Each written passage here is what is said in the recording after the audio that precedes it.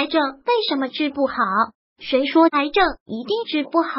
以目前的医疗技术，早期癌症多数有机会治好，中期癌症部分有机会通过综合治好，晚期癌症有少数也有可能治好。癌症能不能治好，不能一概而论，要看是什么癌症，什么分期。比如乳腺癌早期、肺癌早期、结肠癌早期等等，都可能通过手术为主的综合取了相当的治愈率。比如某些白血病、淋巴瘤、睾丸癌、溶癌等，即便晚期，通过以化疗为主的综合，也能相当的治愈率。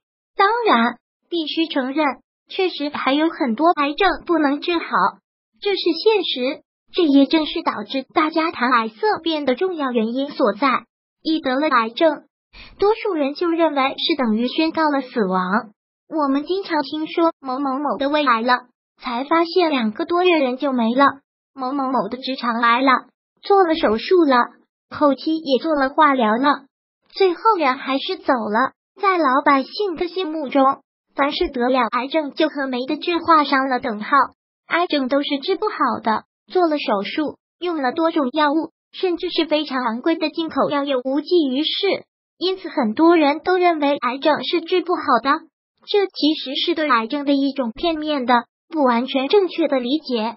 在中国，人们的健康意识并不强，一般情况下，身体没什么毛病，或者说有些小毛病，只要不影响正常的工作生活，就不会去看病。身体出现了不舒服，去检查。结果，如果是癌症，基本上都是中晚期了。有的癌症已经扩散，甚至全身转移了。这时再去手术，各种放疗、化疗等，效果往往不甚理想。癌细胞扩散的速度远远超过我们的想象。如果我们能早期发现癌症、早期诊断及早期的话，效果还是很理想的。不能说癌症完全治不好。可以说，癌症的存活率还是很高的，因此我们应该养成定期体检的好习惯。身体上如果有不舒服或不适，应该及时到就诊，不要错过了疾病的最佳期。癌症的发生除了与遗传因素有关外，重要的就是我们的外在环境因素了。很多癌症的发生都与我们日常的饮食习惯、生活习惯有关。